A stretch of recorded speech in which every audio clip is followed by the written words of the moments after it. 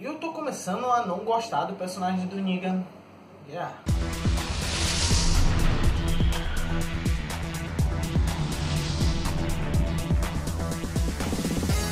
Então, maluco, o 15 episódio de The Walking Dead saiu e com ele nós tivemos algumas coisas, retornos a alguns lugares. Primeiramente, nós temos que ver que a Sasha foi capturada, logicamente, porque ela não morreu.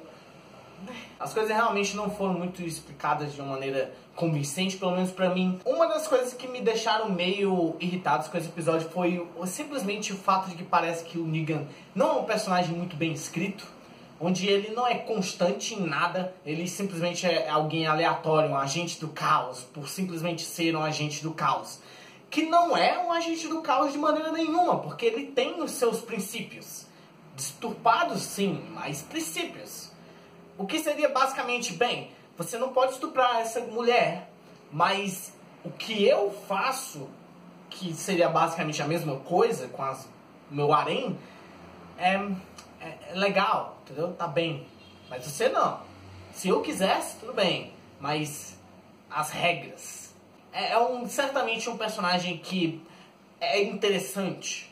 Ou simplesmente mega falho e escrito de uma maneira terrivelmente tosca. A outra coisa que aconteceu foi a parte do Gregory. E a coisa que tá acontecendo que seria, bem, vamos matar o Gregory uma hora ou outra ou ele vai se redimir de alguma maneira. Mas no final, eu acho que ele vai morrer.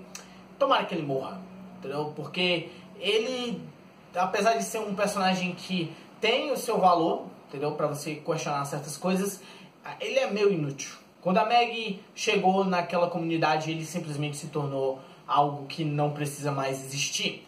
E todas as coisas que ele vem fazendo é justamente para dizer: é, eu sou obsoleto e, e é isso aí eu devia estar morto há muito tempo atrás. A não ser que aconteça um grande, sabe, revelação e tal, em que o Gregory mata a Meg. Eu não sei, talvez. Eles voltaram para aquela comunidade só de mulheres lá no litoral e pegaram todas as armas delas. Assim, deixaram elas completamente indefesas. Você pode levar pelo fato de que, bem, você só com facas mesmo pode ir lá e matar os zumbis. E aquele evento que aconteceu onde teve aquele cargueiro que desembarcou um bocado de zumbis na comunidade. Foi um evento aleatório, roteirismo puro, para dar alguma justificativa para que existisse uma união entre os grupos lá e as coisas fossem mais rápidas na questão de uma ligação entre eles. Porque senão iria ser um, impasse aquela velha ia acabar morrendo. E essa é uma das coisas que acontece bastante em The Walking Dead. Coisas realmente acontecem de maneira muito conveniente.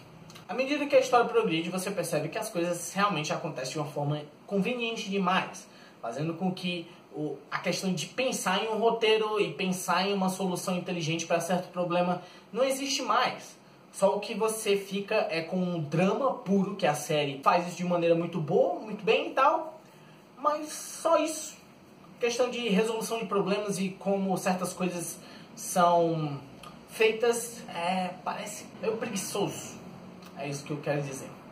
O Eudin, algo interessante que foi feito para com o personagem dele, é que ele tá fumigan mesmo. Tipo, ele é um sobrevivente. E você não pode muito julgar ele por causa disso. Ele simplesmente foi aonde a maré tá levando ele. Isso faz com que a lealdade dele seja mega questionável, sim. Ele tem a possibilidade de morrer pela mão de algum dos outros sobreviventes de outros grupos no meio do tiroteio e tudo mais, ser atacado por zumbis e morrer, sim, fazia diferença, ou faria diferença caso ele morresse como personagem. Grande impacto na série nenhum. Na verdade, talvez fosse uma coisa bem interessante para você diminuir a quantidade de personagens que estão atualmente na série. Em questão de desenvolvimento de personagem e como a série está fazendo isso, eu acho que até agora tá muito bem. Questão de ação, muitas coisas não acontecem durante os episódios. Eu acho que ela ficou grande demais e as pessoas que estão encarregadas do roteiro da série não conseguem dar esse essa sensação de uma coisa grande acontecendo. Simplesmente parece que são pedaços de cenas aleatórias que poderiam estar em qualquer ordem. A não ser em momentos chaves. Porque você poderia pegar esse episódio, por exemplo, e simplesmente mudar a ordem de certas coisas dentro do episódio e não iria fazer diferença nenhuma. Bem, esse episódio foi mais ou menos legal. O próximo episódio talvez seja algo mais interessante. E The Walking Dead está morrendo aos poucos, na minha opinião.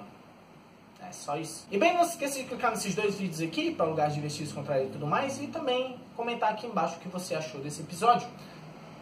Se inscreva no canal e acesse o, acesse o site Multiverso Geek na descrição.